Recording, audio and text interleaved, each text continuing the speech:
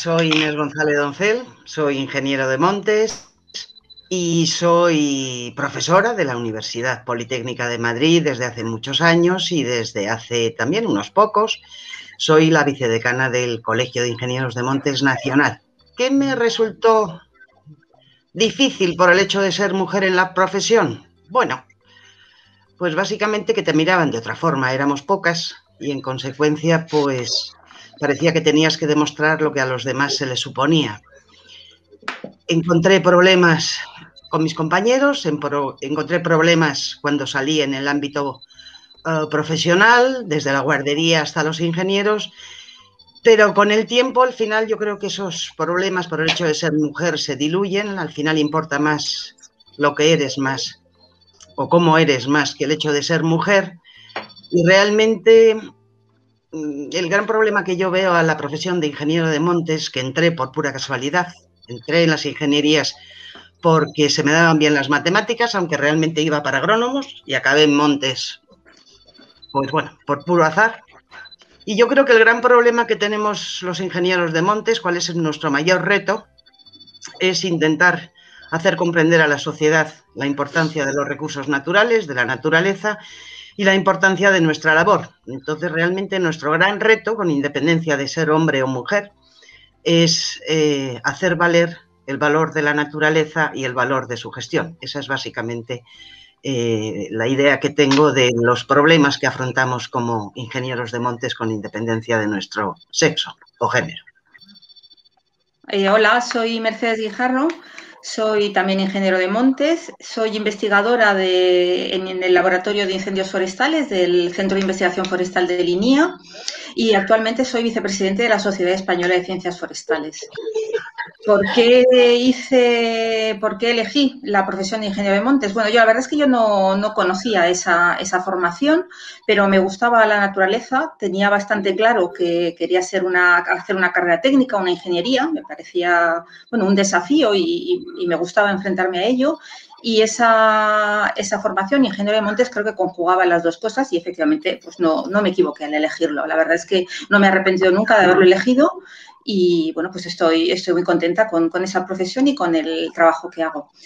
Eh, dificultades, retos, pues la verdad es que yo creo que no recuerdo tampoco, y eso que hace muchos años que terminé, va a hacer 35 años, eh, bueno, quizá éramos un poco anecdóticas, yo creo que soy de la primera promoción del, del BUP y también entramos unas cuantas, o sea que no fuimos exactamente pioneras, pero bueno, casi casi. Quizá eran más anécdotas, quizá era un poco más paternalismo que, realmente obstáculos. Y en el desarrollo profesional, pues creo que tampoco hay unas, hay unas trabas especiales por ser, por ser mujer. en el grupo en el que yo estoy, en el grupo de investigación, somos mayoritariamente mujeres. Mis jefas son eh, mujeres, desde la jefa de departamento, del Centro de Investigación Forestal, la directora general de línea. Y bueno, pues eh, creo que hacemos unos grupos buenos también con nuestros compañeros y, quizá las, las, dificultades son las que se derivan de la, de la falta de financiación de la, de la, ciencia y en el terreno forestal lo que decía Inés, de, dar a conocer nuestra profesión y de pues nuestra visión, que no siempre es igual en todas, pero bueno, al final es esa la de, la de defender el, el, monte, mundo forestal. Hola, eh, soy Verónica Rodríguez Vicente, soy ingeniera de montes. Eh, actualmente eh, soy profesora de formación profesional de educación secundaria en procesos de producción agraria. Por lo tanto, en este caso imparto módulos a los que serán los futuros técnicos superiores de gestión del medio, de gestión de los recursos forestales y del medio natural. ¿Por qué estudié la ingeniería de montes? Porque, bueno, siempre he sido una persona que me han gustado mucho las ciencias, eh, me encantaban las matemáticas, la física y la química, pero especialmente matemáticas y física, y lo que tenía clarísimo es que iba a hacer una ingeniería porque necesitaba aplicar de forma práctica los conocimientos, no podía quedarme en la teoría.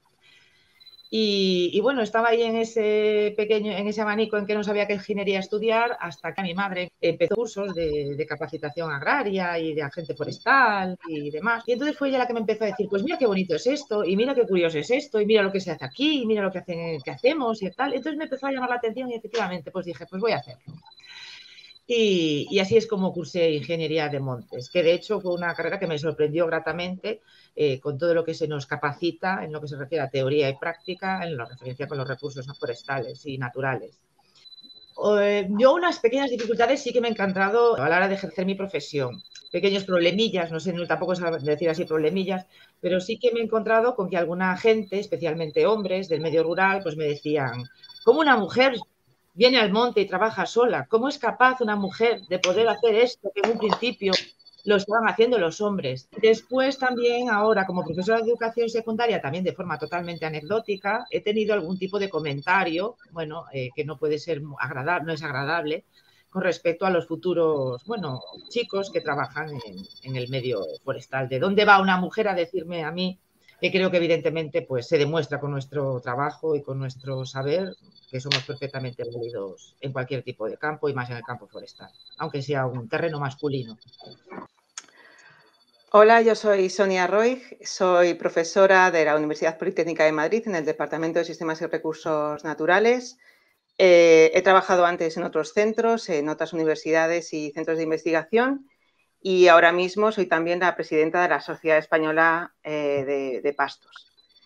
¿Por qué soy ingeniera de montes? Pues eh, no soy nada original, porque yo creo que es una, en la justificación, ¿no? porque es un argumento que utilizamos mucho y es que nos gustan, las personas que hemos llegado a, esta carrera, es porque nos gustaba la solución de problemas, que está asociado a la idea de la ingeniería, eh, las ciencias, las matemáticas, el dibujo, pero también tenía un componente de afición a la naturaleza. ¿no?